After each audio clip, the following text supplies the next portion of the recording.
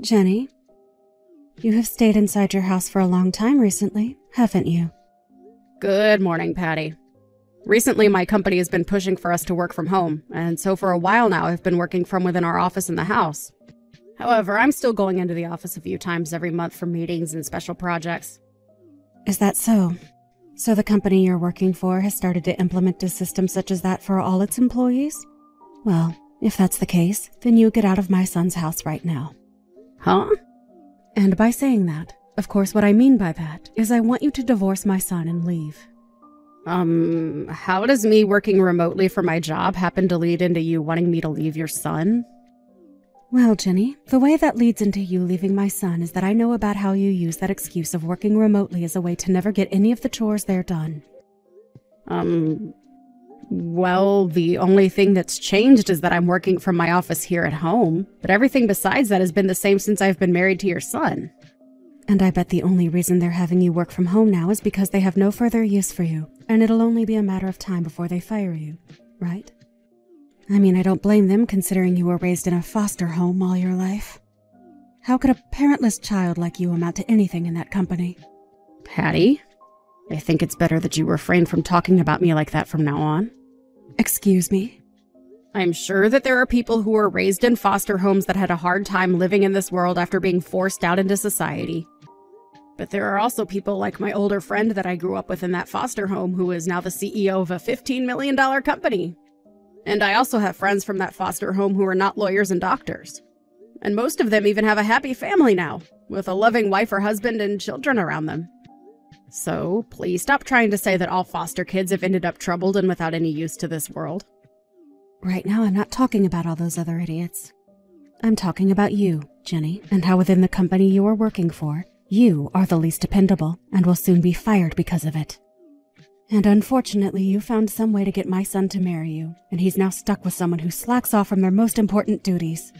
I'm sure that you only married him for his family's money, right? I really would love to have you divorced from him sooner rather than later.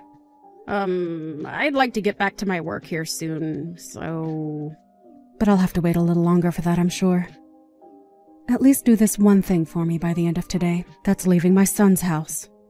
And then from there, I'd like you to start working on divorcing him and being gone from his life forever. My son is my only boy in the family, and I need to make sure that he marries someone far more amazing than you. So, you need to get lost soon. I'm getting back to work. Goodbye.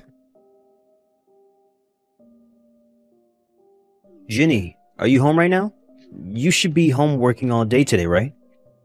Oh, I'm still at home getting some work done, George but I'm on a small lunch break now, so we can chat for a little while. Is that so? Well, I wanted to ask if I came back home now, would I be bothering you while you work? Hmm? What's happened? Do you have to leave work early? Did you come down with something today that's forcing you to leave work? Wait, this isn't about me coming down with anything today. My manager came up to me today saying that I haven't been using a lot of my time off this year and that it would benefit both me and the company to use it up before the next year begins. And since starting next week, I have more projects that I need to start, we both agreed that today I could use the afternoon off, fully paid to head home early and use up the time off. I'll be getting tomorrow off as well, fully paid. Is that so? Well, I'm fine with you coming home now, so don't worry about me and get your butt home. All right, thank you. What do you want to do about lunch? I was just thinking that I'd buy something on the way home to eat.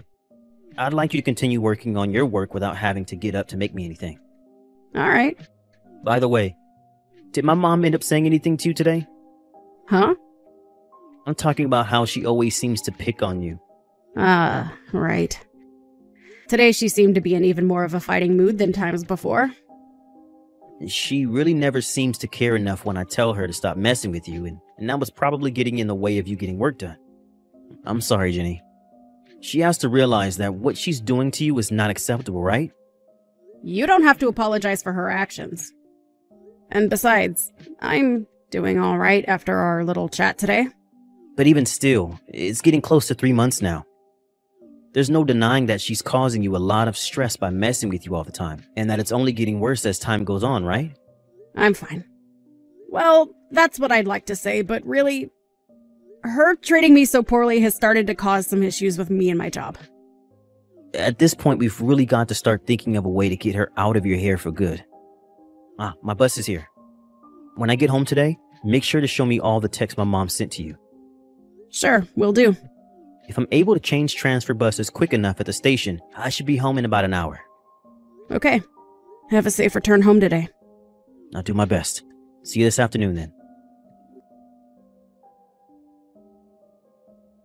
You freaking useless dog.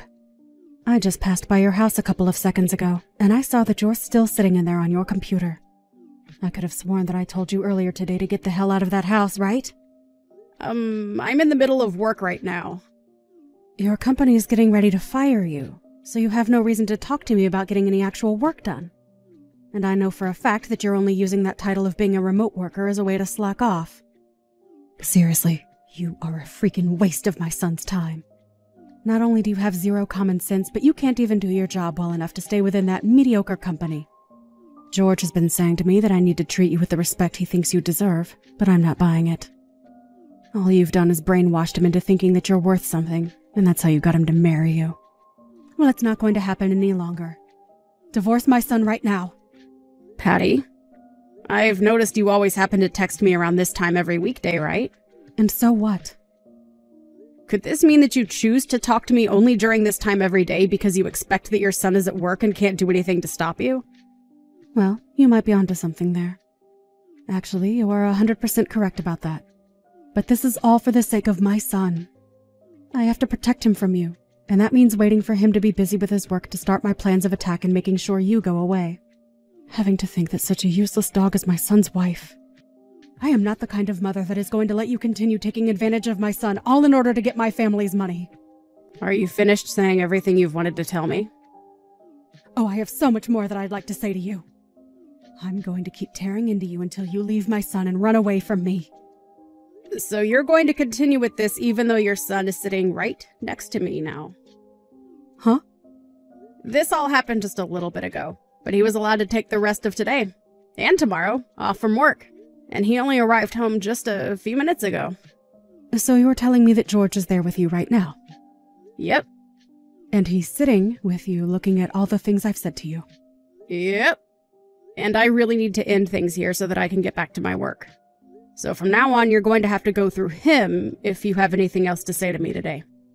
Now I'll be going. Well, if that's the case, then that's completely fine with me. Really, I didn't want for him to have to see everything I'd said to you today. But if he has seen everything already, then that makes my job of explaining things to him a whole lot smoother. Mom? George. Come on now. If you were finally going to take the chance to get a day off work, you should have come back home to me to hang out for a little while. I'm sure that it's pretty boring having to hang around that house all day with a useless dog like her, right? That's right. How about tonight you and I go out for some steaks? And I'll make sure to get us a reservation at one of those high-end steakhouses. It's been almost five years now since your father passed away, so it'll be nice to have a steak again since we haven't eaten steak together since that day. I'm sorry, Mom, but I'm not in the mood to go out for a steak tonight. I'm actually quite pissed at you. Huh? Stop trying to act like what you've been doing is okay. George, what's happened to you? When did I ever say that I wanted to get a divorce from Jenny? And the fact that you've been speaking so poorly of your own son's wife is good reason for me to want to punch you in the face right now. Do you actually think that I'd let you continue with that crap without stepping in? What are you talking about? Come on now. Talk about what's all going on right now very carefully. You are a graduate from a very highly sought after university. And you are on the path to becoming an elite in the working world. But unlike you, your wife right now is nothing more than a lost cause from a foster home who does nothing but work as an office lady. No matter how hard you try to make it look possible, the two of you are not meant to be married. Mom, did we not tell you this yet? Jenny is from the same university as I am. Huh? And not only that, but she was able to get into that university with the full ride scholarship. And as for what she does for work right now, let's just say that the company isn't as well known as the one I'm working for, but her income is higher than mine. Huh? That useless dog. How the hell does she. You guys can't just hide things like that from me. Especially when it's been so long since you both got married and she became a part of my family. You can act like we were trying to hide this from me all you want, but her and I graduated in the same class, and we can show you proof that she's in fact better than me in some ways. Heck, I'd even be willing to show you our pay stubs so you can see with your own very eyes that we aren't playing. Are you serious? You're telling me that that parentless foster child. We have told you plenty of times before that it's not okay to judge someone just based off their past life when they were a child. If you understand everything I've told you, I'd like for you to apologize to Jenny when she's done with work today, and it better come from your heart.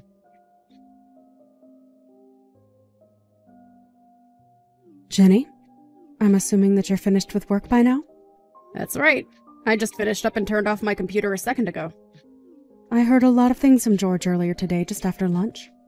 So you actually did end up graduating from university after all. And not just from any university, but from the same one as George? Why were you hiding all of that from me? What?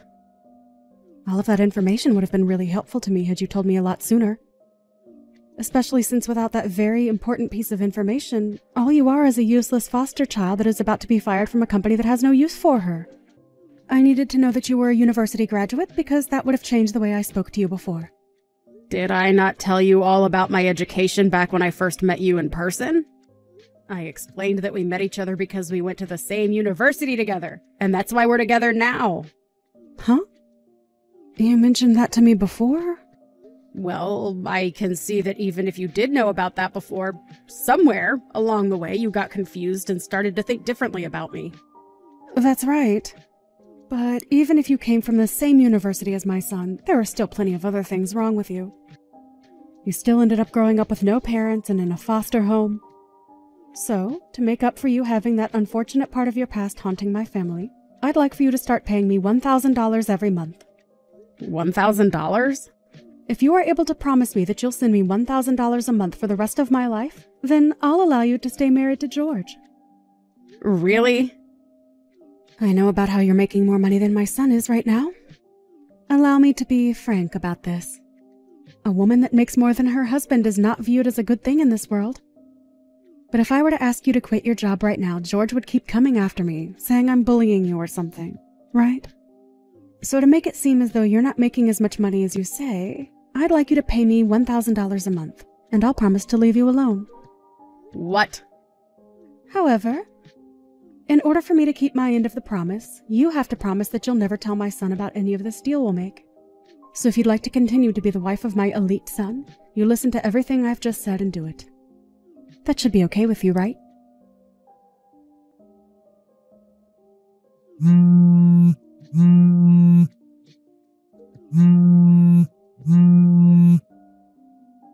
Pick up the dang phone, Ginny. I've noticed that you still haven't put that $1,000 into my account. And so I came all the way to your place to tell you to your face to give me that money. But why is there a lock on the door and a sign saying the place is for sale? That's because after moving out of that house, the realtor has come to start cleaning the place up a bit more to start showcasing it to people looking into the place. You guys moved out? Why did you move? If you don't know what the reason is for that yet, try asking your son. Goodbye. George, why the hell did you move out of that place? You haven't even told me the new address that you guys have. That's because I've cut ties to you, Mom. Huh? Did I not tell you about a month ago to apologize to my wife when we last spoke about what you did to her? Because looking back into our text history, I did say that, and you replied to me meaning that you read that text. But for some unknown reason to me, you going to apologize to her, turning into you threatening her to pay you $1,000 a month. Wait. Did that witch talk to you about all of that? I told her to keep her mouth shut about it so as part of the deal. Her not even being able to uphold that end of the promise is why foster children like her are useless. The reason why I know about what you said to her is because as she was texting you then, I was looking over her shoulder. Huh? And when she finished texting you, she turned to me and I told her that it was over. That from now on, her and I would no longer be a part of your family. That's. And I'll leave you with this as a warning. Trying to come and find us at our offices isn't going to be possible for you. I told my boss about the current situation, and he was kind enough to allow me to move to a different office away from you. And the same thing goes for Jenny and her job. Well, it's not like her office mattered to you, though, because you never even knew where she was working in the first place or what company she worked for. Wait, what am I going to do now, though? I don't care. What? For the past two years now, you've been getting Social Security, right? And you've been working part time for a while now as well, right? There's also that money left over from Dad that you said you'd never touch after he passed away. Well, about that last part. So you should be alright then, right? Now, goodbye, forever. Wait a moment, George. I am. Um, I quit that part time job.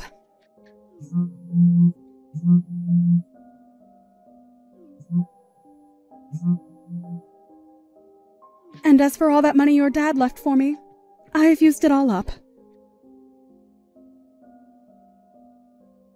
When talking about that last part, where Patty told her son that she had quit her job and was without any more money, that really surprised the both of us. Considering that after her husband passed, she should have been left with around $80,000 and still be receiving a decent Social Security. George and I just looked at each other after reading that and sighed. Apparently, she had spent all of that money without putting much thought into what to do after it was gone, besides hoping that she could rely on her son to support her. But when she found out how much I was making, decided that it'd be better to just have me pay her a little each month in return for not bullying me anymore. After both George and I had agreed that we'd cut ties with her and never see her again, we made sure to explain to all of his family before telling her. And since they all agreed that what we were doing was necessary, they told us that they'd figure out something for her since she no longer had enough money to support herself. In other words, that meant them all introducing her to a job working on a production line. So as of right now, she's out there working every day within that factory, making minimum wage that is barely enough to keep her in her house and keep all the lights on there. Thank you for watching and listening. We hope you enjoyed the video. Don't forget to like this video and subscribe. Also, feel free to leave a comment about what you thought of the story. We look forward to seeing you at the next story. I just finished work, Alice. I'm coming home now. How you feeling? Did you go to the hospital? Thanks for asking, John. I think I feel a bit better than this morning, but I've got a headache again this evening. Right. You still don't seem to be recovered. Are you okay? Feeling a little rough, but not too bad. My doctor saw me and gave me some medicine. So hopefully I'll feel better after this. Just try to get some rest. Thanks. I'm sorry I can't help out much with the housework. Don't you worry. It hasn't been too long since the birth. Why don't you take a break for a bit? But there's housework to keep on top of, so I don't want to be too idle. I need to take care of Sophie, too. If it gets too much, my parents will take care of Sophie. Alice, I can do the housework after I come home from work. So you can just sleep as much as you need. Are you sure, John? Oh, I feel guilty. You don't need to feel guilty. It's the job of both parents to take care of the child. Your body's weakened from the childbirth. You should focus on recovering. I'll make sure I get home early and help you out. Thank you. I'm so glad I married you, John. Alice, this is nothing. I just want to make sure you and Sophie are okay. You love Sophie so much, don't you? But she's so cute. Butter wouldn't melt in her mouth. See, I told you. Sophie is very lucky. Her dad treats her so well. Really? Isn't this normal? I don't think many parents would do this much. You have work, too. On that note, after we get through this busy period at work, I might be able to get paternity leave. Really? Didn't you say they wanted you to delay it because they needed more people? The two new people who started two months ago are very good.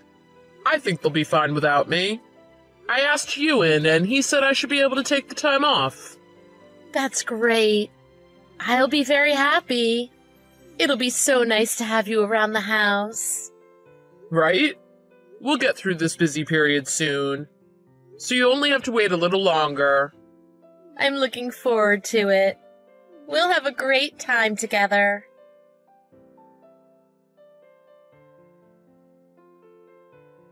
John, I'm sorry. I need you to do something for me. What's wrong, Alice? You sound serious. Something happened? I've been feeling nauseous from this morning. So I went to the hospital. Oh no, are you okay? Is this food poisoning or something? No. They examined me and found a brain tumor. I have one year to live. What? You can't be serious. I wouldn't joke about something like this. Well, but isn't it all a bit too sudden? You've been going to the hospital all these times, but they're only noticing this now? I'll tell you the details when you come home, John. But I just thought I was feeling unwell because of the childbirth. So the doctor didn't run any brain scans until now. Nobody thought that I'd have cancer at such a late stage. Oh. Is that how this works? What's with that reaction? Are you saying that I'm lying? I was told I don't have much time. I even have the diagnosis papers. Why don't you believe me? I'm sorry, I'm not accusing you, Alice. I'm just having a tough time coming to terms with this because it's so sudden. I'm the one who's really struggling. I thought after giving birth to Sophie we could have a happy life together. But I won't be able to see her grow up. This couldn't be any worse. You're right. You're the one that's really going through the most. I'm sorry I said something so insensitive. What should I do from now? What can I do to help you, Alice? I thought about it. About what I can do for my family. So that's why I said, there's something I want you to do for me. What is it? I'll do anything, Alice. I want to get a divorce. Huh? Divorce? Why? I think my body is just going to wither away from now on. I don't want you to see me get weaker and weaker. I want you to remember the healthy me, John. No, I can't do that to you. Let me support you, Alice. You've got Sophie to take care of, John. You shouldn't be wasting time on me. What are you saying? I'll look after both you and Sophie. My parents will take care of Sophie sometimes. I don't want to cause trouble for everyone. Please, forget about me and enjoy the next stage of your life. I'm sure you won't have any trouble finding a lovely new wife, John. Please? Don't just decide all this on your own. I can't leave you while you're ill, and I can't get remarried so quickly. Of course, I can't just throw you away like that. Please. It's my dying wish to you. Please think of this like what I left to you in my will. I can't. Even if that's what you want, Alice, I can't agree to this. I'm sorry to be so selfish. I only had a short time with her, but I was so glad to have Sophie. I know you don't want this, John, but my mind is decided. I'll move out of our house soon. Just take good care of Sophie.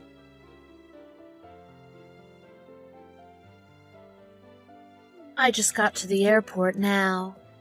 This is the last time I'll contact you. I'm sorry. I just think you'll be happier without me. Yep, thanks for everything. What's so funny? I had to make a very difficult decision. Why are you being so horrible? Sorry. I just couldn't hold it in anymore. You're so bad at acting. Acting? What are you talking about? The cancer is a lie, isn't it? I checked. What do you mean? Why would I lie about that? And I showed you the diagnosis papers. That's pretty solid evidence. Well, the terminal illness in itself wasn't so unbelievable. Sometimes life throws you curveballs. But it's what you said after that. It was just unnatural. I found what you said suspicious, so I investigated. Investigated? How? My coworker's wife happens to work at that hospital as a nurse. I got her to check the diagnosis. But there was nothing on your records to say you were terminally ill. So the papers you showed me must have been forged. How could they have been? It's what my doctor gave me. Yeah, that doctor of yours is pretty suspicious too. What's so suspicious about him? So that's why I researched him too. I found out about him from my coworker's wife and her networks in the hospital. What? You went sniffing around him so much? How embarrassing. You're the embarrassing one. What are you talking about? You don't know, do you? There's a rumor among the nurses that you and your doctor are having an affair. What? When he's examining you, it always takes a long time. Plus, you're often alone together in his room. One nurse even saw you and him together outside of the hospital. Oh, but that's just a rumor. That's just a misunderstanding. Oh, that's why I hate gossipers. Well, I thought you would deny it. I've actually checked your phone secretly. There were loads of evidence from texts to photos with you and your affair partner. I've also been having a private investigator checking you from a while back. A detective? What is this? A soap opera? What are you serious? You were doing all this behind my back. Hey, don't bash the PI. She's very professional and good at her job. Two days ago, you went with that doctor to a hotel, didn't you? I don't know what you're talking about. I have photos for proof. You realize you can't just talk your way out of this anymore, right? No, you're wrong. I'm not lying. If you were going to lie, you should have made a more convincing one. A terminal illness out of the blue, followed immediately by a request for a divorce? It was all moving way too fast. But I'm going to ask you once. Try not to lie to me this time. How long have you been involved in this way with the doctor? Tell me. we met two years ago. And? I thought he was a great guy, so I made him my regular doctor. After I kept seeing him as my doctor, I started to have feelings for him. But around that time, I got pregnant with Sophie. So I. I thought of a way to push the baby onto you and get married to the doctor. So that's why you faked having cancer? Don't you feel guilty for abandoning your newborn child? Didn't you think about us after you left us? I didn't think about that. I was just going to pretend you didn't exist after that. Are you serious?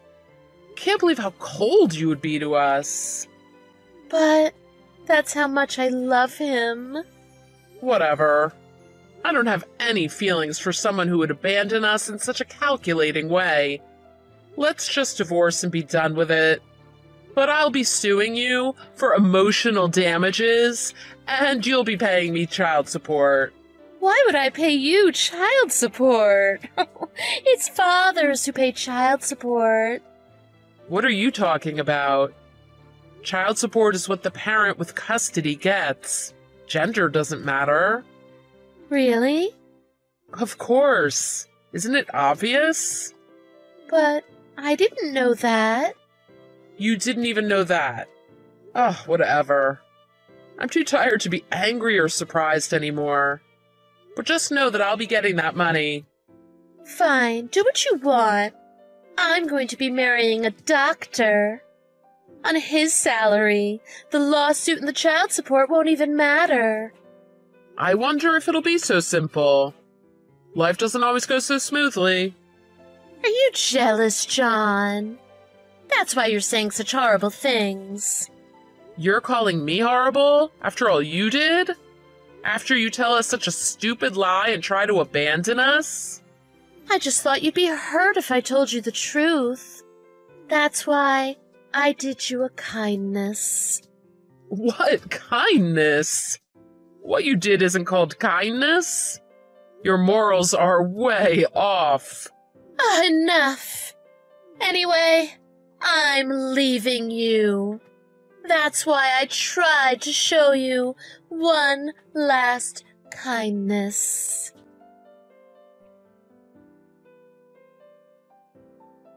John, help me. I'm sorry for everything I did. Please, forgive me. What is it? It's late. I thought I could finally sleep now that Sophie's sleeping. I apologize for everything I've done. So can you call off the lawsuit? Huh? Why? I don't want to. I don't have the money. You're getting married to that doctor, right? Yesterday you said you don't care what I did, right? it won't even matter on his salary, you said. But we're not getting married now. oh? Why's that? Didn't you leave me to get married to him? The hospitals found out about the forged diagnosis papers. So he said that we need to stop the affair so he can keep his job. Oh no, poor you. I guess he left you. He hasn't left me. I pulled back to save his career. Nope. Sounds to me like he ditched you. No, that's not it. Anyway, I've got no money, so I won't be able to afford the lawsuit and the child support. So please, back down. nope. Why? Raising a child as a single parent is tough. The more money I have, the better. Don't think I'll let you get off for free after cheating on me and abandoning us. Then I've got an idea. Let's forget about the divorce. Come again? Then it'll be back to normal for us. If I help with raising the baby, you won't need child support. Come on. Quit joking. You can't just come back from what you did. I won't even let you into the house. Why not? Aren't you struggling with me gone? It's better for Sophie if her mother is around. It's bad for her to be raised by a single parent. I'm sure she'll be miserable with just her dad raising her. I'm sure it'll be tough. But it's 100 times better than having an irresponsible mother like you around. I was doing most of the housework before the divorce anyway. Our lives won't really change all that much when you're gone. That's not true. While you were at work, I looked after Sophie and did all of the housework. To phrase it another way, I did everything when I was at home. And my parents were looking after Sophie most of the time. You were just sleeping. I did all the cleaning, laundry, and the cooking too. I couldn't help it. I was unwell. Ugh. Knowing what I know now, you feeling ill back then is pretty suspect. I bet you were making that up so you could go see your affair partner. That wasn't a lie. I really was unwell. No, I can't trust you. I'm not sure I can trust anything about you. Not that it matters now anyway. Either way, you being around isn't really going to lighten my load. Look, just give me one more chance. I'll show you that I've changed, and I'll be a good mother. I promise. I don't care about you anymore. Like you said to me, Alice, I should just forget about you and enjoy the next stage of my life. Goodbye. Don't ignore me. How can you have this attitude towards your wife when she's in trouble? It's just karma for what you tried to do to us. Don't you try to play the victim. I'll forget about you. I won't tell Sophie about you. It'll be better for her that way.